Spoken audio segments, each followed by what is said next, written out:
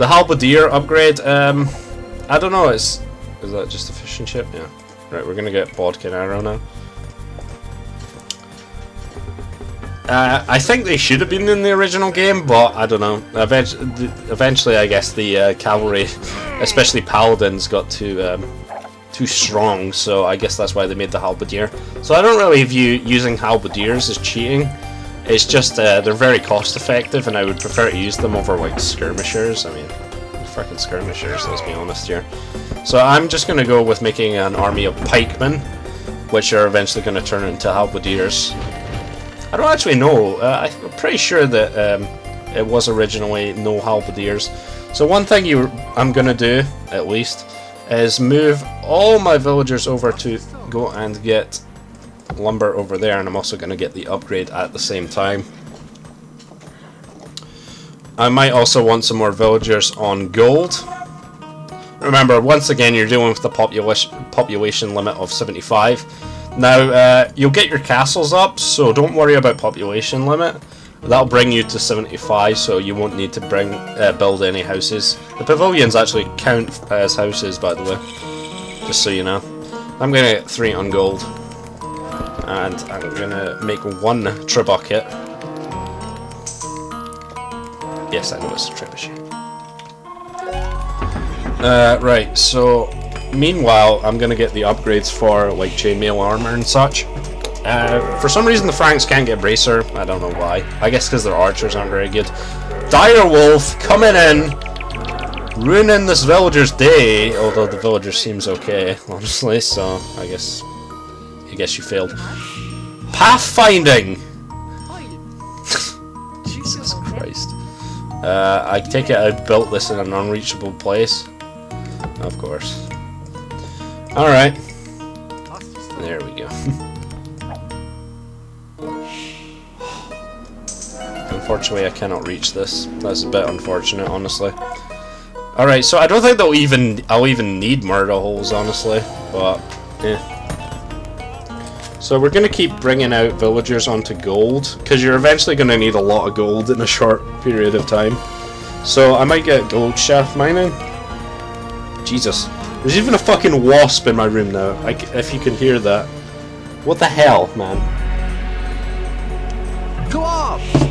it's buzzing around my head. I'm pretty sure you could hear that. But, what the fuck? It's not, it's, it's May. It's not even warm outside. Jesus. Whatever. Oh, I never noticed those berries over there. I don't know if I should keep them on that or not. Um, I'm gonna say no, and I'm gonna move them onto farms. Or at least some of them. So I'll bring like three of them off that. Uh, gonna get some more pikemen, of course. Getting that upgrade there. Right, we should be fine over there. Uh, yeah, so it's not really gonna take take that long.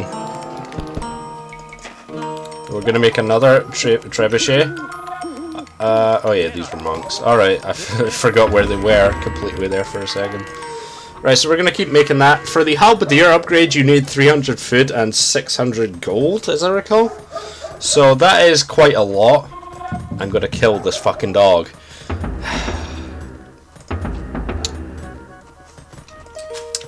I don't know, I, I need a less sensitive microphone or something. Alright, um, hmm. Gonna bring these guys onto gold. Three of them. One of them will go on a farm. I need to re, yeah, reseed those farms at some point. Right, I can't get the uh, last last thing for that. I don't know if it's worth it getting handcart. Probably is, but yeah. I usually don't don't get it. So we'll get that last one. Actually, I can get two.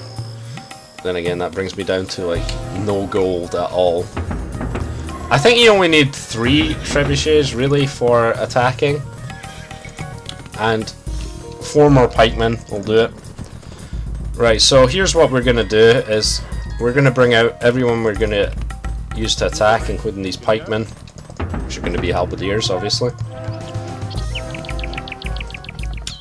So yeah, make sure you've got pretty much everyone on gold. If you need additional gold, we'll get get it after uh, taking on Chalon so uh, don't worry about that. Now, you might want to try and get siege engineers as well if you have enough wood. It might be a little hard for you to, to get it though. Now, yes, Chalon should have attacked uh, by now in the original game, but in this case they are not, for some reason. I could have got conscription at some point, but didn't bother. Right, so Halberdier and get siege engineers. Uh, I can also get trebuchet, which means I'll need to kill someone off. I'll kill a villager off. And, yeah, siege engineers. Oh yeah, of course I used the wood for a trebuchet. Right, so four trebuchets will definitely be good now. Um, and there come the farms. I'm gonna get siege engineers first. And then I'll re reseed those farms. Right, so let's get everyone up here and ready. So here's what you're gonna pretty much do. Is pretty much bring everyone up here uh, but make sure that you don't attack before it's necessary. Uh, maybe I should have scouted them out first. I don't know. I guess this pikeman's going to stay a pikeman. Because, holy shit, there is actually a cannon galleon? Right when I'm ready to attack? Oh well, I killed it anyway. I'm surprised. Okay, so apparently that cannon galleon is there sometimes. I don't fucking know. It's making up its own mind. Alright, so stand ground probably yeah so trebuchets have incredible uh, line of sight so keep that in mind so it looks like Chalon does make a, a, navy of some kind. And we'll bring up the trebuchets. Right so that's all you really need to do. What? Oh you fucking asshole. Alright so trebuchet time. And They'll basically send out all their knights to attack you, and that is a lot of knights, damn. And you're pretty much just wanting to make sure that these uh, trebuchets stay alive. They'll pretty much go for whoever attacked, I believe, so it looks like they're just going for a bunch of these halberdiers. They'll resign right after this. You're probably going to lose a bunch of your troops. Uh, just bring the trebuchets in. I don't know why they say charge so late. I believe that's when they normally attack, they say charge, but apparently they're not, they don't attack normally in this version of the game at least. Uh, you'll lose all your troops, but uh, at the very least, um, they will resign, so you won't have to worry about them anymore. Not that you were really worrying about them before, but you know. Uh, so after that, basically just uh, sort out your economy again if you've got farms that need reseeding or whatever. Uh, I don't know if they get crop rotation. Oh, Jesus. Apparently we, ra we ran in here with some guys. I don't know what they were thinking. Well, I guess we will we will attack them there. Look at that, look at... Did you see that knight moonwalking? Best. Best knight, seriously. So that is Chalon resigning, which is fine for us. And we are getting conscription. I'm gonna settle for a bunch more uh, halberdiers over here. Gonna get iron casting at the same time. And I think you only really need Right, we're gonna get one more trebuchet. You don't really need that many trebuchets. I think that might actually force them to come attack here, which is not bad.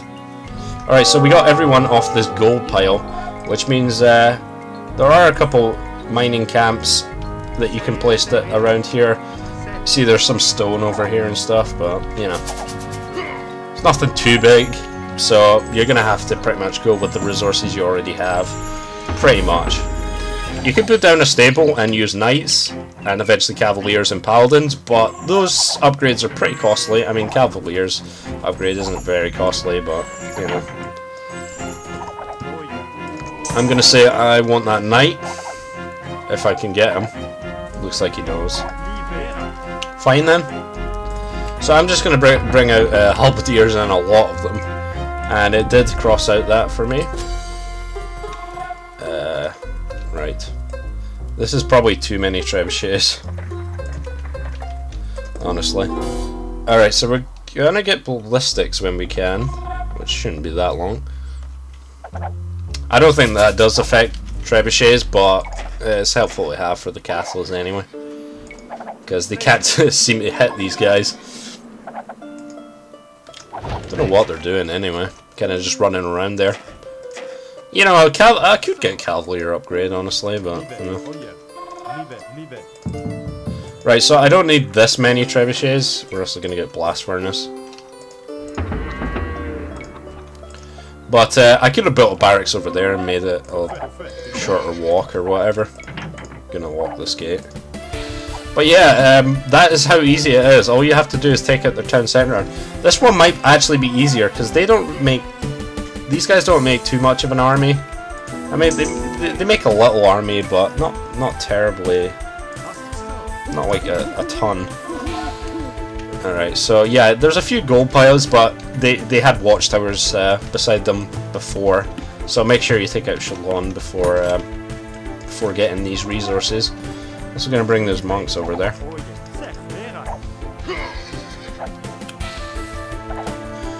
Alright, um... I, am saying this is probably enough to go. Because all I have to do is de defend the trebuchets for a little while, and I forgot this gate was locked. Uh, so bring the, these guys out in front.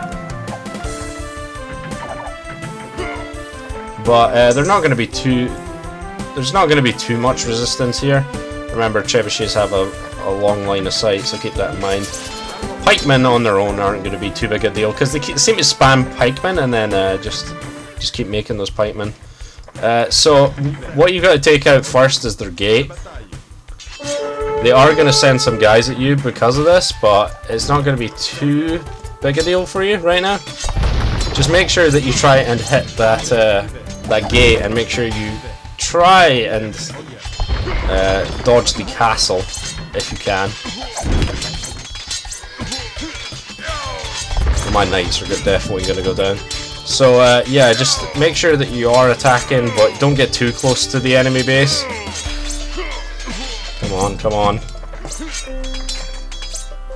So you are gonna kind of, you're gonna have to get close. But trebuchets, especially with siege engineers, they have a lot of range. So make sure that you take advantage of that. And I believe that will be it for the orange player. Unfortunately, I couldn't get my last trebuchet in there. I think you can actually fit four, but I think I needed to get a little bit closer. Uh, but it's going to go down regardless. And once that castle goes down especially, that's going to be very good for you. After this, you pretty much can go on and win this scenario very easily. And I'll show you how. So basically get your trebuchets and everything in order. Uh, wait for them to resign just in case they have anything left. But bring your trebuchets up. And I'm going to get the monks up here too. Obviously, you could do stuff like build a castle outside Reims, uh, or whatever. Uh, that that that could work, I guess. But there is a much easier way, and that is just to use like four or five trebuchets and immediately take out their. God damn it! I'm not clicking on the scout. Just immediately take them out. Uh, so I usually set everyone on no attack stance and basically uh, go up to where the uh, Right, so I need 9,000 gold for spies, uh, which basically reveals every um, enemy line of sight on the map. Uh, so if you wait until uh, the orange player dies, it actually will be a lot cheaper. But I think I'm still not going to have enough anyway, so whatever. You see it goes down, it's 200 per villager. That's them resigned. So it looks like it's going to stick at 7,004. Oh, it's going to be 7,000, alright. Uh, which is still too much. I only have 1500. So if you do manage to kill a bunch of Yellow's villagers, you might be able to get it, but, you know. Like, kill all these guys. I think this belongs to Chalon, but they just ran in there and took it. Filthy yellow player. Whatever. It's fine. So, you'll... Their town centre is actually very easy to get to all you need to do is go up beside this market here, and uh, I th this scout may start attacking, or may start spazzing out, either or. Uh, once you get up here, get right up to their gates, and then unload. I I probably should have not right-clicked. Well, it looks like they're not going to come for me. They have a bunch of mangonels and cavaliers, and eventually paladins, I believe. But uh, once you start attacking, they'll immediately come towards you, but it's so easy. Now the coronation of the Dauphin can proceed. And they, they'll be driven to suicide, and you will win the mission. Remember, all you need to do, take out the town centres. As we rode into Reims, a sea of peasants and lords knelt before Jeanne. Some even knelt to kiss our horses' hoofprints. Cannon thundered, and a thousand flags danced in the breeze. In the enormous palace, the Dauphin knelt before the Archbishop and rose as King of France. Prayers, anthems, and sermons filled the great chateau. Interspersed among perfumed dukes and ladies were tattered soldiers from our army, many still bearing wounds. Jeanne herself was at the king's side, as was her bedraggled battle standard. Despite the celebration, I know in my heart that this war is far from over. Our fathers and grandfathers died fighting against the English. Jeanne gives us hope, but I do not know if hope is enough to ensure victory.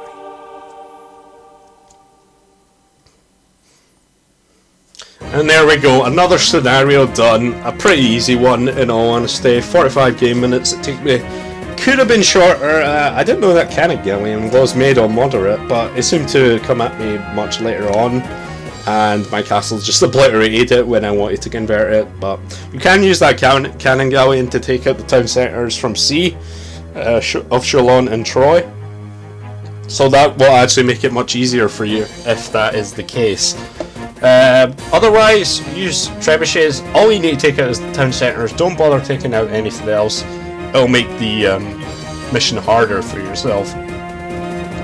I could have ran in there with like paladins or something and took the uh, town centres out as well, but uh, I, didn't, I didn't really feel like building up like that, so I just used trebuchets. So there's my military stats. I lost 25 units, unfortunately. Lost most of my first army of halberdiers running in there to Chalon, but it's fine. I knew what I had to do, so it was fine. Uh, yep, collection stats. I don't expect to be the, the map explored. Um, obviously, I didn't really explore the map that much. You don't need to, really. And I don't think Troy or Chalon go to the Imperial Age, so there you go. So I got two castles, not too many. Uh, Rime, Rime has two as well. I think they're kind of out of range though, so you don't need to go and take them out. And lastly, here is the timeline. Three battle events, probably for the three uh, people I took out. Well, maybe not actually. Uh, yeah. So there you go. That was Mission 4, or Scenario 4, The Rising. Next time we're going to take out on the Siege of Paris. This is a lot like the first one, and unlike with Messiah, it's uh, you get so many units, and your your objective is just to get to the end. But it's much harder than the first one. it's quite interesting, actually. Um, yeah, it's much harder than the first one. It's probably the hardest mission in the Joan of Arc campaign. Uh, then again, I don't really remember the sixth one that well. But uh, yeah, I think this one's going to be one of the hardest ones. So yeah, that's it. So I'll see you guys next time.